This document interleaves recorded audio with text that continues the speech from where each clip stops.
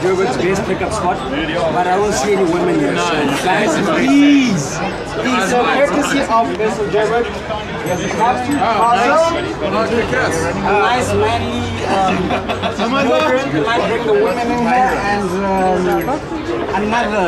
You guys Thank you guys. need women here. Yes.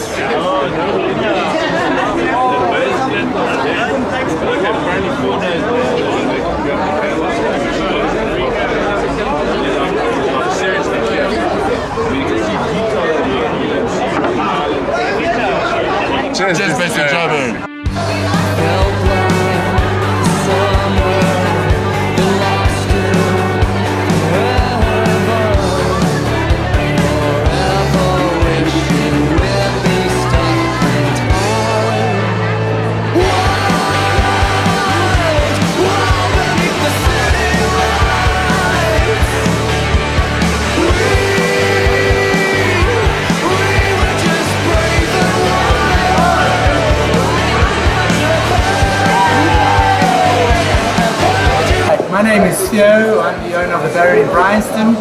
We've been here for nine years on the 1st of December, so it's been a privilege to be a, a Baron. Baron. it's been a privilege to um, be nominated or being chosen as Best of Clover. And, uh, and apparently we nominated the best pickup joint in Johannesburg, which is a privilege for us.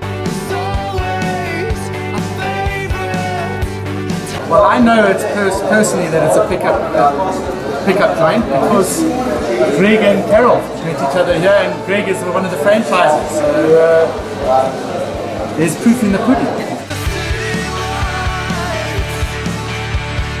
It's a very long story. No, I'll make No, it no, short. short I'll make it short. I'll make it very short. We were here for a lunch on the 31st of December, and Greg was sitting at a table all by himself. We were like we were about 16, and um, one of the the wine, I think it's one of your wine suppliers said, Greg, come and join our table. And Greg was like, no, no, no, no. We said, no, come and join our table. And I'd been eyeing Greg out for about two years, and um, he joined our table, and took about two or three hours until everyone, the clients got, everyone's on going home. And I went over and I said, do you remember me? And he said, yes, and we got chatting. And then I, I asked him what he was doing for New Year. And he said, nothing. So I said, well, then we're going on a date. A date? And he said, yes, it's a date. She harpooned me. And we haven't been apart, we haven't been apart since. Not one night, not ever since. So this has to be the best pickup joint. You picked me up, by the way.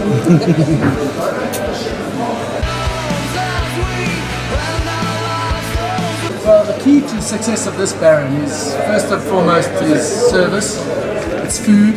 I think location counts a lot.